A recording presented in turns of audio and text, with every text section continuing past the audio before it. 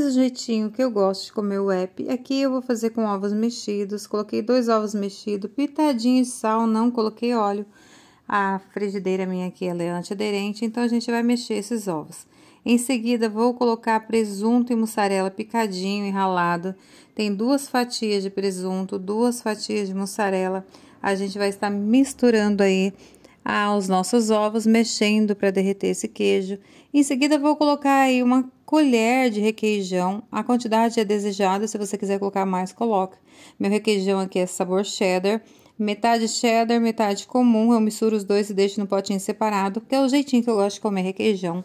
Misturei aí até derreter o nosso queijo. Fica uma delícia, gente. Se quiser colocar mais outra coisa, pode ficar à vontade. Aí, nossa web, Coloquei ela na frigideira quente, virei dos dois lados e coloquei a metade dos nossos ovos mexidos aí na nossa web. Gente, é, eu coloquei a metade porque para mim era muito, tá? Se você quiser colocar tudo em uma só, fica à vontade.